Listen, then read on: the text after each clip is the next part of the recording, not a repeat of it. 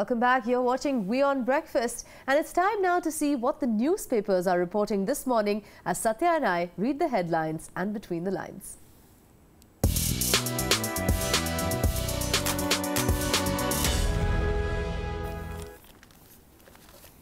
Well, in the Times of India section, um, the plus one page has a really interesting uh, report about Pluto, which is, of course, as we know, the furthermost planet in our solar system.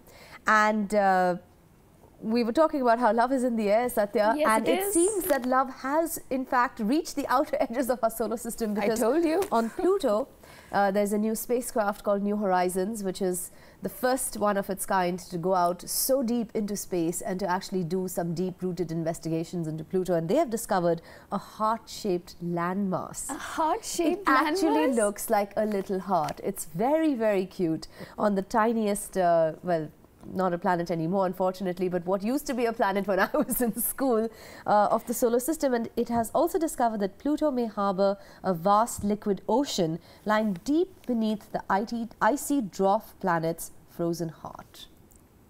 I'm stuck at the heart.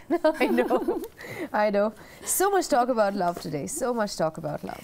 I know. And here is uh, another interesting article. I told you we just saw a story where even in old age you can find love.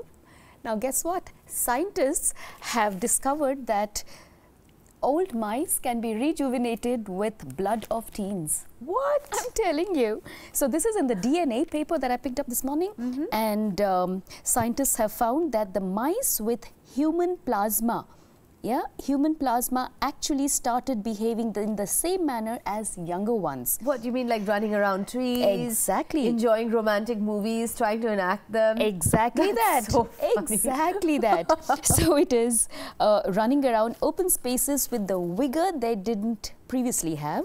There were also evidence of the treated mice showing higher mental activity. When placed in the familiar mouse maze known as the Barnes maze, which is used to study memory and spatial learning, the researchers discovered the plasma, hu uh, the human plasma infused mice were performing at higher levels than normal. That's very, very sweet. I'm telling you, there's hope for all of us.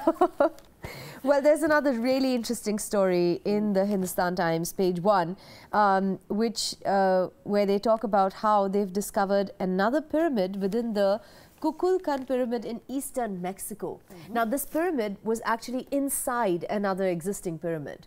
A meta pyramid. Yes, it's like it's they, they've literally described it as an ancient structure that was built like a Russian nesting doll.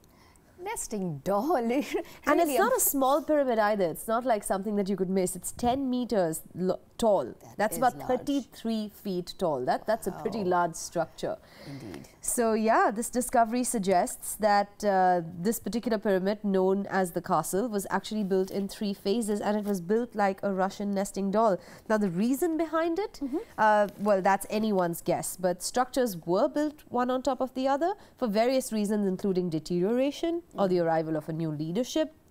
Um, so, experts are still debating about why there's a pyramid within a pyramid. That is an interesting question. Pyramids, clearly, they represent a certain old world. Now, coming back from the old world, you know, there's an interesting article, uh, something that we associate with old age, making wills. Now, you know, it doesn't have to be, um, it doesn't have to be related to old age. That is just a responsibility that we have to just pass on what we think is, um, we would like to pass on to the younger ones. In the Mint, there is an interesting article on how to make a will on your own. Okay, so you mean I can write my own will? There you go. If you are well versed with what you own and who you want to bequeath to, hmm. you can make a will on your own in just a few steps. Yeah. So, how does it work? You should know what you own to hmm. start with. Always a good idea. Always a good idea. Make that list. there you go. um, who will be the beneficiaries? Hmm. Yes. So even uh, if you have a beneficiary in mind who is different from what the law stipulates, mention this in the will. Right. Yeah. Any person can be a beneficiary, including a charitable organization or a public or a private trust. I believe even pets qualify. I've read somewhere that you can actually leave you know, a small trust fund so that your pet is well taken is well taken care of even when you're not there. I think that's a very noble thought. Mm, I, would I would, do, do that. that. I would do that for sure. And then there are e-wills. Yeah.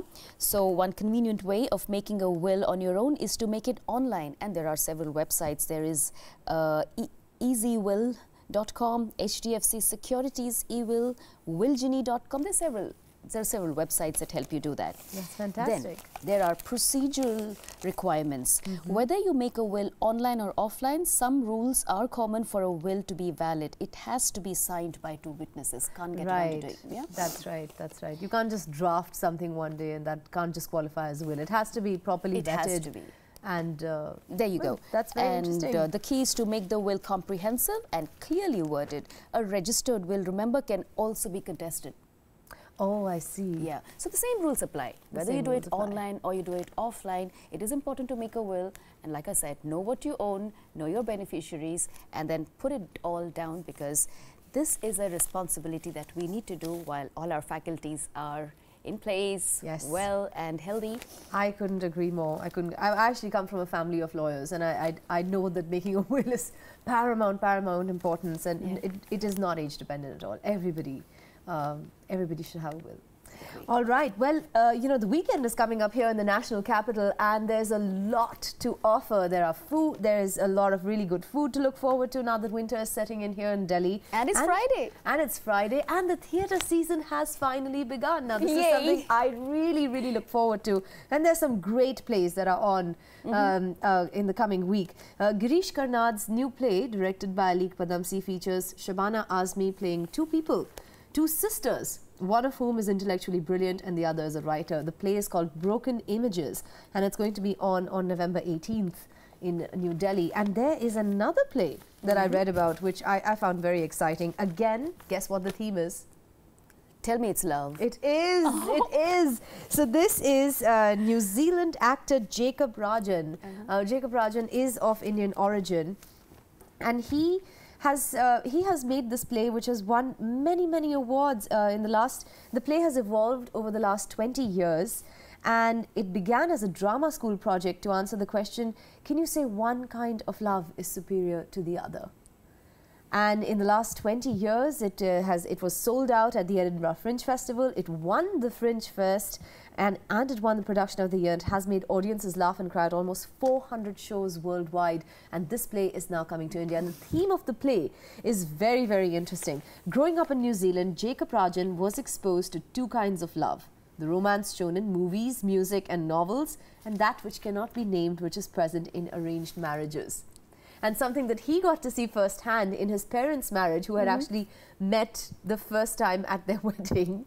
And uh, this is a very common story in India, of course. Sure. And he writes about how he was very curious about what kind of love is really um, is is more superior. Is it is it that, that that crazy romantic love that you see in movies, or is it this very different, stable sort of subdued love that he, he saw in his parents' marriage? And so he went. He wants. He was very curious about it. He went out, and one of the stories that mm -hmm. he mm-hmm. came across uh, during his research was of a man who sold his dairy after his wife died and went back to India. And a year later, he returned and brought back the place. And this triggered the thought that the dairy had become a monument to their love very much like the Taj Mahal is a monument to the yes. love of a very famous royal Mughal couple. Yes. So, so this is the kind of dynamics that this play explores, and it's on in Delhi this weekend. And I, for one, have got a full diary now, Satya. I know exactly what I'm doing with my weekend. And I'm going to be going talking out about watching great plays. And talking about what kind of love is superior, well, you know what?